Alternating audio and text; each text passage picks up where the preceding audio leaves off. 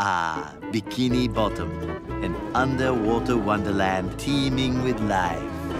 Hang on, you guys! I'm draining these jellyfish of all their dangerous electricity so I can use it to destroy the Krusty Krab. We have to stop Plankton! Come on, then. We'll stop that shrimp with me cannons. You do know that net was tied to your leg, right? Now remember, Patrick, jellyfishing is all in the wrist. Got it.